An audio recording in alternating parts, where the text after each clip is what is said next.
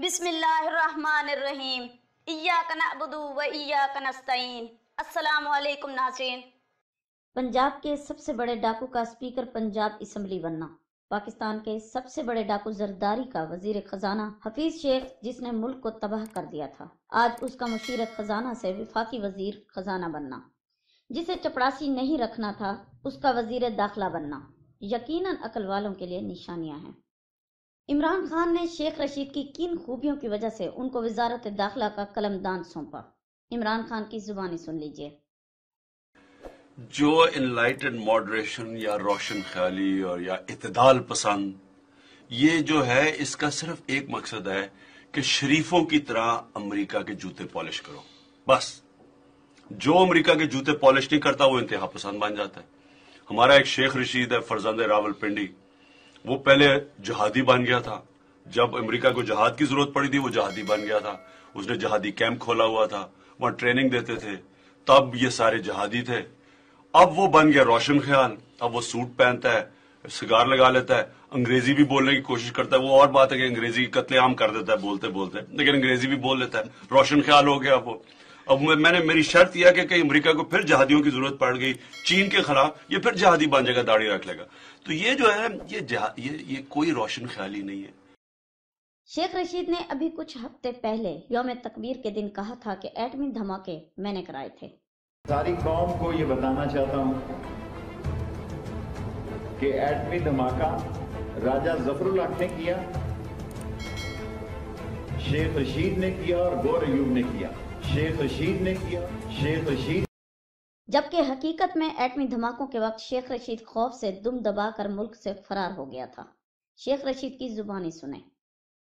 जब atomic blast होना था तो आप यकीन करें सारी रात मैं सजदे में पड़ा रहा कि या अल्लाह इन इन सारे लोग जो चार पाँच छह लोग हैं जो फैसला कर रहे हैं इसमें मैं ही एक कमज़ोर आदमी हूँ जिसके वालद का कोई नाम नहीं है जिसका कोई पॉलिटिकल बैकग्राउंड नहीं है।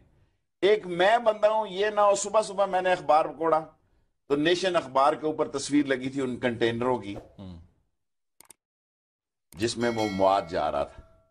मैंने कहा जी मेरा आपको पता है कि मैं बिल्कुल मैं इस खौफ से कि मुझे पता था कि कब और किस वक्त ये होना ज़ाहिर है मैं इंफॉर्मेशन को आप यकीन करें सुबह की फ़्लाइट पकड़ के मैं निकल गया। मैं इतना खौफ ज़्यादा था मैंने कहा इतना सास मसला है कोई पटाखा आगे पीछे हो जाए कोई और मसला हो जाए कहीं से लीकेज हो जाए।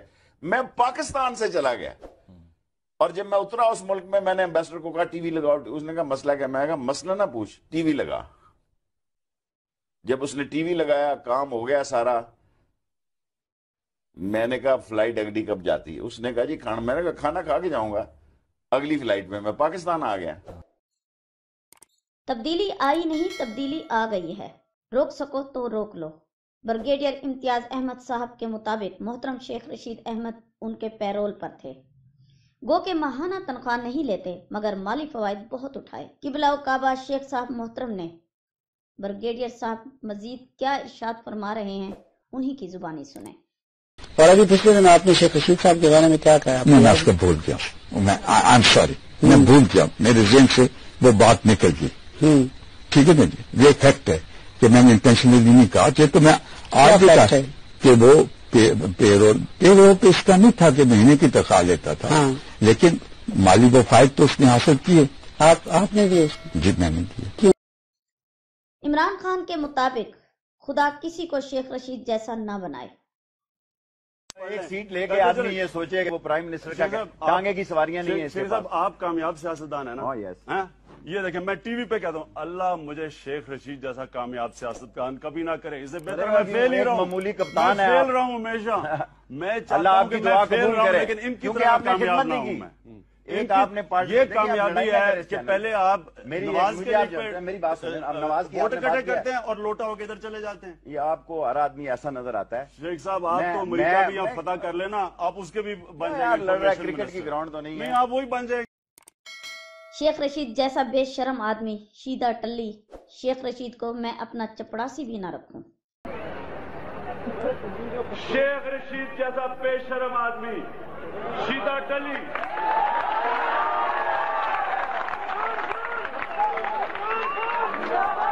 शेख रशीद जिसको मैं अपना